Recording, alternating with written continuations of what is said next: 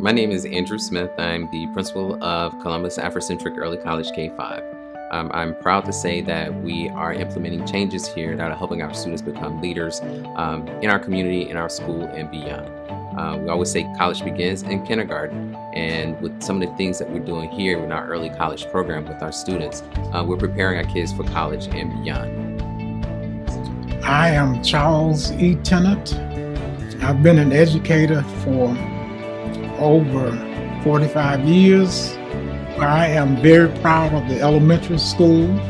I see a lot of wonderful things taking place in the elementary school. There are some wonderful teachers in this area. Uh, I see teachers teaching the Ma'at principles, and I am extremely, extremely proud of that. My name is Preston Still, and I'm in fourth grade. I like that a lot of people are using leader in because it tells people not to do the wrong thing, do the right things. And when you do the right things, good things come to you.